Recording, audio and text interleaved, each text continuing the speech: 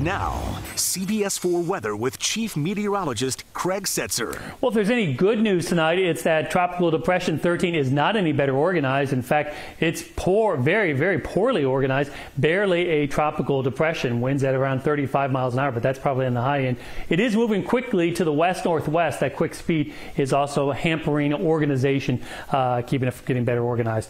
There are tropical storm watches, Puerto Rico, Virgin Islands, and northern Leeward Islands there, and the threat cone shows it uh, moving moving to the west, forecast to become a tropical storm in about 24 hours or so, and then continue on to the west. It could make a track a little bit farther to the south.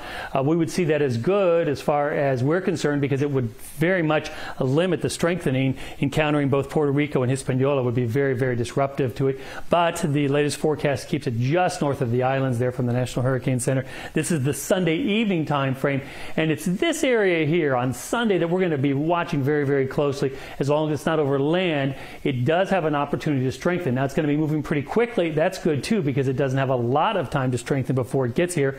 It's forecast to become a minimal hurricane either sometime uh, Monday night or during the day on Monday on approach to us. That's a possibility. We could see hurricane conditions here. It's a possibility in South Florida. And then there's the Tuesday time frame. Here are the computer models this evening. They have shifted a little bit to the south. We talked about this uh, the last several days, how they're kind of going up and down. They went up. They've gone to the south a bit. They may even go a little bit farther to the south now and uh, bring the track more over the islands there. Here is the noon position on Monday.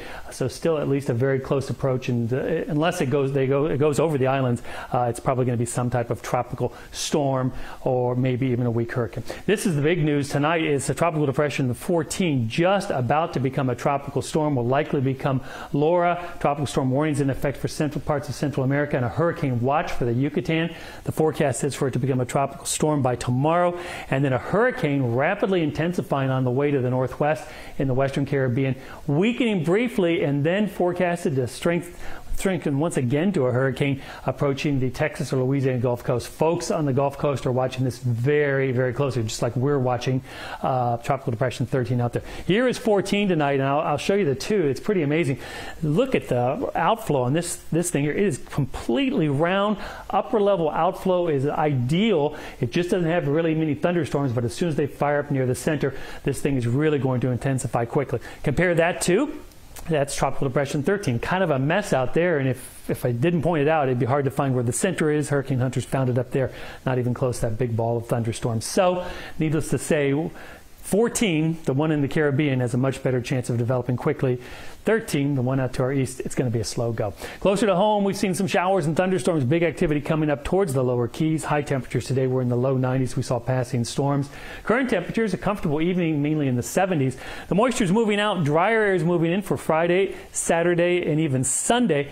And then by Monday, the models have two named systems potentially entering the Gulf of Mexico. For us tonight, we'll see a stray storm. Other than that, not too steamy, a low near 78. Tomorrow, look for a bit more sunshine a bit of a breeze off the ocean, and a brief shower. High temperature near 90 degrees. On the water, wind southeast at 15. Seas running 2 to 4 feet, taking us through the weekend. It's looking not as stormy Friday, Saturday, and Sunday, of course. Monday and Tuesday depend on the track of Tropical Depression 13. CBS 4 News Tonight's coming right back.